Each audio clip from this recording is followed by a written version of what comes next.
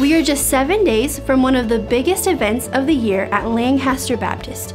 We all want to grow and improve in our spiritual lives in the new year, and Vision Sunday is an important step in your new year journey.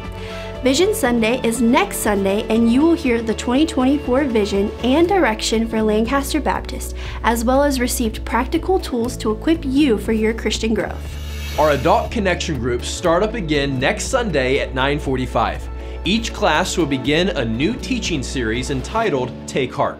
We find no greater profile in courage than in the life of Jesus Christ. This study follows our Savior as he faced opposition, challenged critics, and courageously chose to make the ultimate sacrifice.